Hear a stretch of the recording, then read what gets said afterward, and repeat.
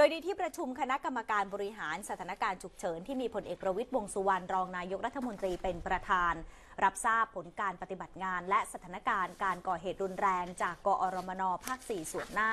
ในห่วงวันที่ 20 ธันวาคม 2562 ถึง 10 กุมภาพันธ์ 2563 มีการเกิดเหตุลดลง ประชาชนได้รับการดูแลความปลอดภัย จากหน่วยงานความมั่นคงในพื้นที่อย่างต่อเนื่อง ควบคู่กับการเจรจาสันติสุข และการพัฒนาทางเศรษฐกิจที่กำลังเจริญเติบโต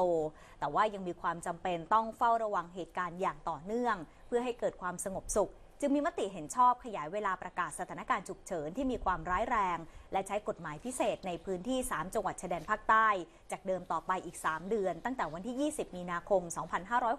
2563 ถึง 19 มิถุนายน 2563 เป็นครั้งที่ 59 ตามข้อเสนอของกอรมนภาค 4 ส่วนหน้า ที่ประชุมยังกำชับให้เพิ่มประสิทธิภาพด้านการสืบสวนสอบสวนคดีความมั่นคง โดยเพิ่มกำลังตำรวจในพื้นที่ และเร่งรัด กสทช